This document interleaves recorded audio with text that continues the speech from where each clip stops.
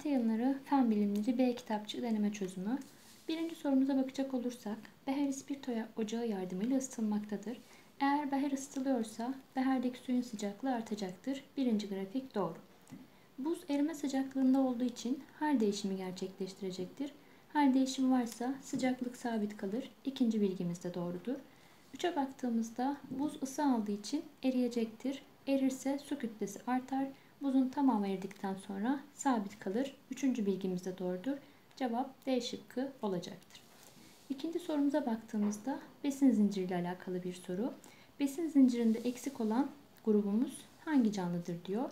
Besin zincirinde eksik olan grubumuz ayrıştırıcı canlılardır. Ayrıştırıcı canlılar oksijen üretimi gerçekleştiremez. Oksijen üretenler üretici canlılardır. Cevabımız B şıkkı olacaktır. Üçüncü sorumuza baktığımızda çıkrık sistemi verilmiştir. Çıkrıkta kuvvet kolunun uzunluğu artırılırsa kuvvetten kayıp olmaz, kazanç vardır. Bir yanlıştır. Yük kolunun uzunluğu artırılırsa yükün bir tam turda yer değiştirme miktarı artar. Çünkü yük, yük kolunun uzunluğunun artması yoldan kazanç sağlayacaktır. İkinci bilgimiz doğrudur.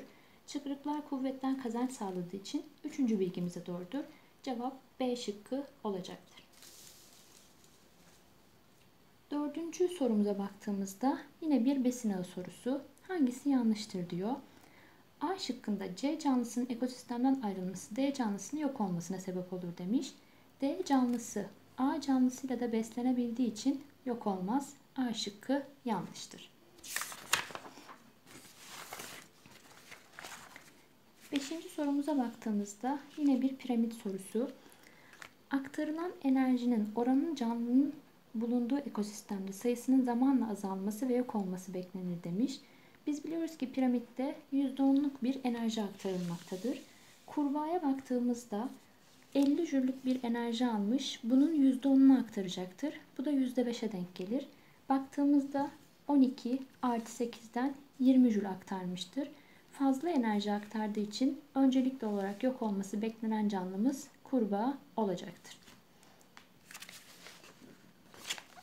Altıncı sorumuza baktığımızda yine bir besin zinciri sorusu. Hangisi olabilir diyor. Bakalım fare azalırsa çekirgenin besini olan üretici artar, çekirge artar. X canlısı bu yüzden faredir diyebiliriz. Atmaca artarsa kertenkele azalır. Kertenkelenin besini olan çekirge artar. Y canlısı bu yüzden atmacadır diyebiliriz. Cevabımız C şıkkı olacak. Yedinci sorumuza baktığımızda besin piramidi ile alakalı bir sorudur. Doğru olduğu söylenebilir demiş. Biz biliyoruz ki besin piramidinde aşağıdan yukarıya doğru çıkıldıkça biyolojik birikim artar, canlı sayısı azalır, aktarılan enerji azalır. Baktığımızda birinci ve üçüncü tablolarımız doğrudur. Cevap C şıkkı olacaktır. Sekizinci sorumuza baktığımızda mevsimler ve iklim konusuyla alakalı bir sorudur. Hangisi söylenemez demiş. D şıkkına bakarsak dünya iki konumundayken ülkemizde gündüzler kısalmaya başlar ve sonbahar mevsimi yaşanır demiş. Ülkemiz kuzey yarımkürede yer alır ve gündüzler kısa, kısalmaya 3 konumda başlar. Çünkü 21 Haziran'da en uzun gündüz yaşanır. Sonra günler kısalmaya başlayacaktır. Cevap D şık. Dokuzuncu sorumuza baktığımızda DNA kalıtımla ilgili bir soru. Siyah kürk geni beyaz kürk renk genine baskındır demiş. Kesin olarak genotipi belirlenemeyen hangileridir ona bakacağız. Beyazlar çekinik olduğu için küçük a küçük a dedik. Yedinci canlımız küçük a küçük a ise ata canlılarında birer tane küçük a bulunmak zorundadır. O yüzden 8. canlımız belirlenemez. Çünkü büyük A büyük A ya da büyük A küçük A olma ihtimali vardır. Dördüncü canlı da küçük A küçük A olacağı için ata canlılarında birer tane küçük A bulunmak zorundadır. Üçüncü canlımızı da bu yüzden belirleyemeyeceğiz. Çünkü bir büyük A büyük A, bir de büyük A küçük A olma ihtimali vardır. 3 ve 8 kesin olarak belirlenemez. 10. sorumuza baktığımızda modifikasyon sorusudur. Buna göre yorumlardan hangileri de doğrudur demiş. Aynı tohum olmalarına rağmen sıcaklık genlerin yapısını değiştirdiği için farklı renkte çiçek açmıştır diyor. Yanlış bir bilgidir. Çünkü modifikasyon genlerin yapısını değil işleyişini değiştirir. İkiye bakarsak sıcaklığın etkisiyle çuha çiçeklerinin fenotipi değişmiştir diyor. Doğru bir bilgi genin işleyişi değiştiği için sadece fenotip değişir. Şekil 1'deki bitki 32 derecede yetiştirildiğinde şekil 2'deki çiçeklerle aynı renkte çiçek elde edilebilir demiş. Yine doğru bir bilgidir.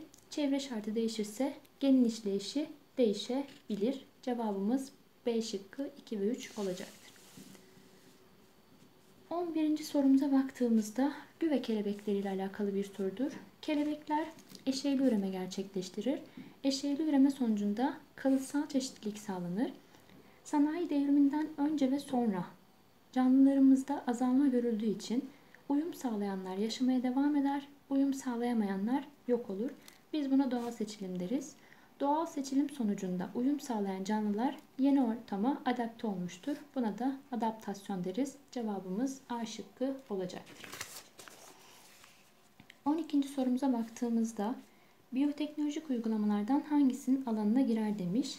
Üçüncü maddeye bakarsak istenilen gen virüse yerleştirilir bilgisi var. Genin virüse yerleştirilmesi varsa gen aktarımından bahsediyordur. Cevabımız D şıkkıdır. 13. sorumuza baktığımızda basınç sorusu hangileri doğrudur demiş. Birinci aşamada Ela balonunu şişirdikten sonra balonun içindeki havanın basıncı açık hava basıncına eşit olur. Doğru bir bilgidir. Baktığımızda açık hava basıncını eşitleyebilmek için balonun hacminin artması gerekir. Bu yüzden doğrudur. İkiye bakarsak ikinci aşamada balonun hacmi birinci aşamaya göre azalmıştır. Çünkü üzerine etkileyen bir sıvı basıncı vardır. Bu yüzden bu da doğru bir bilgidir. Üçüncü aşamada balon yükseldikçe açık hava basıncı azalır. Bu nedenle balon fazla şişer ve patlar demiş. Yükseklere çıkıldıkça açık hava basıncı azaldığı için balon bunu dengeleyecektir. Bu yüzden hacmi artar ve belli bir süre sonra patlar. Cevabımız A şıkkı olacaktır. 14. 14. sorumuza baktığımızda sıvı basıncı ile alakalı bir sorudur. Hangileri doğrudur demiş. Bakalım. Üçüncü vana açıldığında A binasının bütün katlarında su ihtiyacı karşılanabilir. Üçüncü vana açıldığında A binasının tüm katlarına sıvı seviyesi ulaşabildiği için karşılanabilir. Doğru. İkinci vana açıldığında B binasındaki bütün katların ihtiyacı karşılanabilir. C binasının dördüncü katı karşılanamaz. Sıvı seviyesi yeterli değildir. Bu yüzden de pompa kullanılması gerekir. Doğru bir bilgidir. Birinci vana açıldığında 3 binanın da ikinci katındaki musluktan akan suyun hızı eşit olmaktadır. H yüksekliği eşit olduğu için doğru bir bilgidir. Cevabımız 1, 2, 3 olacaktır. 15. sorumuza baktığımızda periyodik sistemle ilgili B elementi en kısa periyottadır demiş. Biliyoruz ki o zaman birinci periyotta yer almaktadır. B şıkkını eleriz. B ve N elementinin kimyasal özellikleri benzerse aynı grupta olmak zorundadır. C şıkkımızda eleriz. S elementinin erime ve kaynama noktası B ve N'den yüksekse metaldir diyebiliriz. Bu yüzden D şıkkımızda elenecektir. Cevap A şıkkı olacaktır. 16. sorumuza baktığımızda basit makinelerle ilgili bir sorudur. Yük 20 Newton ağırlığındaymış. Grafikte de kuvvetlerin değerleri verilmiş. Bire bakarsak X basit makinesi hareketli makara olabilir. Yük 20, uygulanan kuvvet 20. Hareketli makaralarda kuvvetten kazanç vardır. O yüzden birinci bilgimiz yanlıştır. Y basit makinesinde kuvvetten kazanç, yoldan kayıp vardır demiş. Yük 20, kuvvet 30. Kuvvetten kayıp, yoldan kazanç vardır. İkinci bilgi de yanlıştır. Z basit makinesi eğik düzlem olabilir demiş. Yük 20, kuvvet 10. Kuvvetten kazanç olduğu için eğik düzlem olabilir. Cevabımız 1 ve 2 C şıkkı olacak. 17. sorumuza baktığımızda bir deney yapılmış. Deney sonucunda da şerit renkleri açığa çıkmış. Sirke mor lahanada kırmızı, su mor, karbonatlı suda mavi renk almış. Eğer kırmızı renk alırsa sirke asittir, mor renk alırsa nötrdür, mavi renk alırsa da bazdır diyebiliriz. Hangileri doğrudur demiş. Sirke içeren bir çözelti için en uygun saklama ortamı cam şişelerdir. Sirkeler cama zarar vermeyeceği için saklanabilir. Doğru bir bilgidir. Su saf haldeyken elektrik akımını iletir demiş. Nötr olduğu için iletemez. Asitler ve bazlar iletebilir. Karbonatlı su cilde kayganlık hissi verir demiş. Baz olduğu için ele kayganlık hissi verebilir. Doğru bir bilgidir. 1 ve 3 doğru olduğu için cevabımız C şıkkıdır.